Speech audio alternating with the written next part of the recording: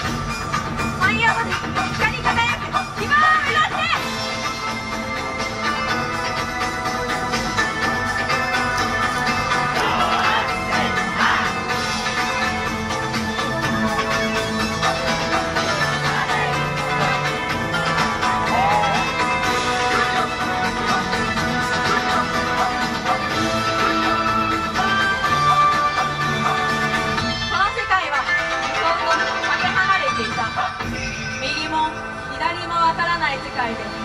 どういいのだろう花札がまぶしく輝く晴れ渡った空なのにカナリアの目に光はない知恵も地図も持っていない色あせた世界に居場所を求め暗闇へと吸い込まれる